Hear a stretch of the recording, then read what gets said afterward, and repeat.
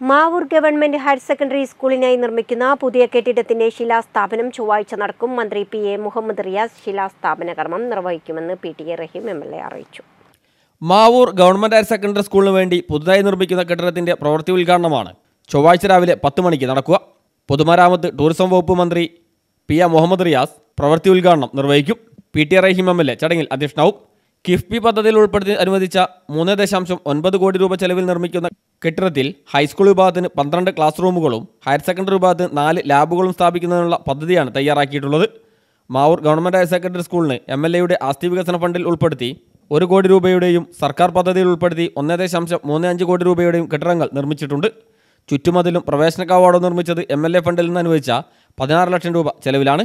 ഇപ്പോൾ M L A അനുവദിച്ച അറുപത് ലക്ഷം രൂപ കൂടി ഉപയോഗപ്പെടുത്തി സ്വിമ്മിംഗ് പൂളിന്റെ നിർമ്മാണം നടന്നു വരികയാണ് ന്യൂസ് ബ്യൂറോ മാവൂർ.